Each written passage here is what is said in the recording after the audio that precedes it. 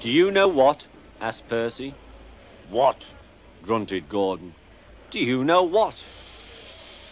Silly, said Gordon. Of course I don't know what, if you don't tell me what what is. The Fat Controller says that the work in the yard is too heavy for me. He's getting a bigger engine to help me. Rubbish, said James. Any engine could do it. If you worked more and chatted less, this yard would be a sweeter, a better, and a happier place. Percy went off to fetch some coaches. That stupid old signal, he thought. He was remembering the time he'd misunderstood a signal and gone backwards instead of forwards. No one listens to me now. They think I'm a silly little engine and order me about. I'll show them. I'll show them, didn't know how. By the end of the afternoon, he felt tired and unhappy. He brought some coaches to the station. Hello, Percy, said the Fat Controller. You look tired. Yes, sir, I am, sir. I don't know if I'm standing on my dome or my wheels. You look the right way up to me, laughed the Fat Controller. Cheer up. The new engine is bigger than you and can probably do the work alone. Would you like to help build my new harbor? Thomas and Toby will help. Oh, yes, sir. Thank you, sir. The new engine arrived. What's your name? asked the Fat Controller. Montague, sir, but I'm usually called Duck. They say I waddle.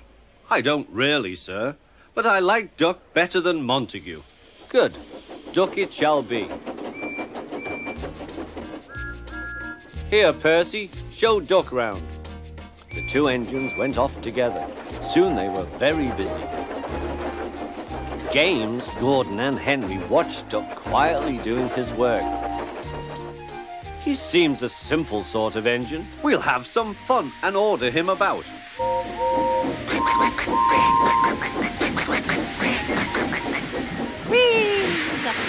Smoke billowed everywhere.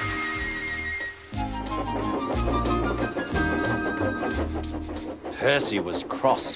Duck took no notice. They'll get tired of it soon. Do they tell you to do things, Percy? Yes, they do, answered Percy. Right, said Duck. We'll soon stop that nonsense. He whispered something. We'll do it later. The Fat Controller was looking forward to hot buttered toast for tea at home. Suddenly he heard an extraordinary noise. Whee!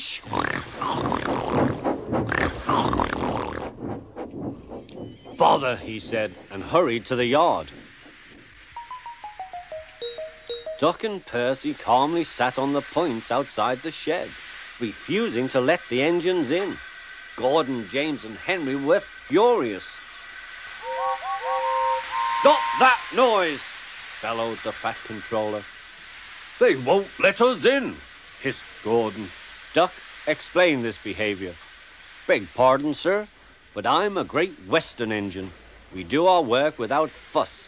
But begging your pardon, sir, Percy and I would be glad if you would inform these um, engines that we only take orders from you. Silence! snapped the Fat Controller. Percy and Duck, I am pleased with your work today, but not with your behavior tonight. You have caused a disturbance. Gordon, Henry, and James sniggered. As for you, thundered the Fat Controller, you've been worse. You made the disturbance. Duck is quite right. This is my railway, and I give the orders. After Percy went away, Duck was left to manage alone. He did so, easily.